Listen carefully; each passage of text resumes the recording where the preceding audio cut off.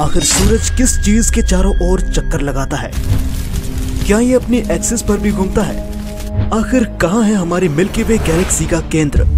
इन सारे सवालों के जवाब जानेंगे इस वीडियो में। कई शताब्दियों तक माना जाता रहा है कि हमारे इस ब्रह्मांड का केंद्र केवल धरती है। हमारी धरती के चारों ओर ही सारी चीज़ें चक्कर लगाती हैं। सूरज और चाँद धरती के चारों ओर चक्कर लगाते हैं। लेकिन सन 1543 में पोलैंड के एक एस्ट्रोनॉमिस्ट निकोलस कॉपरनिकस ने विज्ञान के इस क्षेत्र को पूरी तरह से बदल कर रख दिया। उन्होंने बताया कि सूरज हमारे सौर मंडल का केंद्र है और सारे ग्रह इसके चारों ओर चक्कर लगाते हैं और कॉपरनिकस की इसी थ्योरी ने पूरे विज्ञान के क्षेत्र को बदल कर रख दिया। लेकिन आपको जानकर हैरानी होगी कि उनकी ये थ्योरी पूरी तरह से सही नहीं थी और असल में हमारा सूरज भी ब्रह्मांड के किसी केंद्र के चारों ओर चक्कर लगाता है। लेकिन सवाल उठता है कि आखिर वो ऐसा कौन सा केंद्र है, जिसके चारों ओर हमारे सूरज के साथ साथ पूरा का पूरा सौर मंडल चक्कर लगाता है और हमारे सौर मंडल का निन्यानवे प्रतिशत वज़न केवल सूरज का है, जो कि धरती के मुकाबले तीन लाख गुना से भी ज़्यादा है, जो कि पूरी तरह से हॉट प्लाज्मा से बना हुआ है। इसमें तिहत्तर प्रतिशत हाइड्रोजन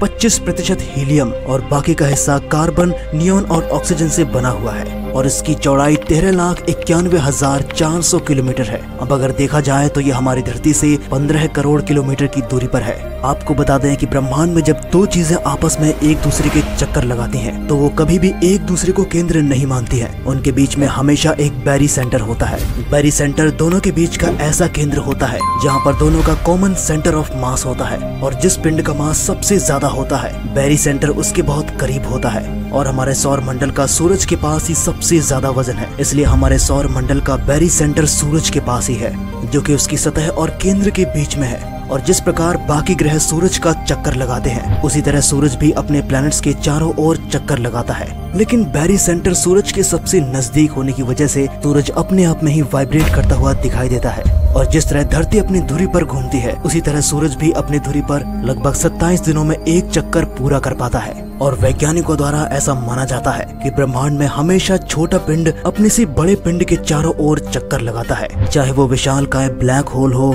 या फिर कोई विशाल तारा हो। और आपको जानकर हैरानी होगी कि सूरज के साथ साथ हमारे सौर मंडल के सारे ग्रह किसी बड़ी चीज़ के चारों ओर चक्कर लगाते हैं। और वो है हमारे मिल्की वे गैलेक्सी का केंद्र, जिसके चारों ओर सभी चीज़ें घूमती हैं। आपको बता दें कि मिल्की वे को ही हमारी गैलेक्सी माना जाता है, जिसका आकार कुछ इस तरह स्पायरल शेप में होता है।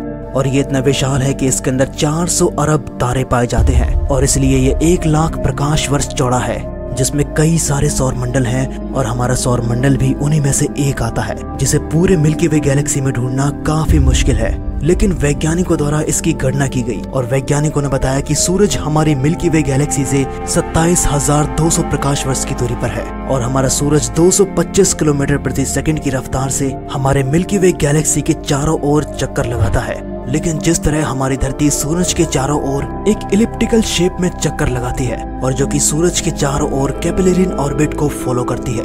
लेकिन सूरज इस तरह से चक्कर नहीं लगाता और सूरज का ये रेवोल्यूशन कैपिलरिन ऑर्बिट को फॉलो नहीं करता और ये अपने ऑर्बिट में बड़े ही अजीबोगरीब तरीके से घूमता है। यानी कि अगर आसान शब्दों में कहा जाए तो सूरज मिल्की वे के केंद्र के चारों ओर अपने ऑर्बिट में सीधी दिशा में नहीं घूमता, बल्कि ये अपनी दिशा को कभी भी बदलता रहता है और ये चलते चलते अपने ऑर्बिट में पीछे भी आ सकता है। और इसके बाद वो फिर से आगे बढ़ सकता है। और वैज्ञानिकों के माने तो हमारा सूरज मिल्की वे के चारों ओर रिवॉल्व करने के लिए 23 से 25 करोड़ सालों का वक्त लग जाता है और इस अंतराल को कॉस्मिक ईयर या फिर गैलेक्टिक ईयर कहा जाता है।